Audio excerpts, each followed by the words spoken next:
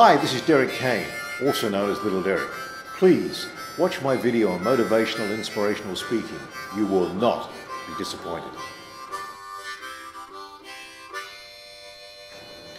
Success in business and all the experiences that go with it give me lots to motivate you. And the story of how I turned my sentence of death into a sentence of life after being diagnosed with leukemia will inspire you.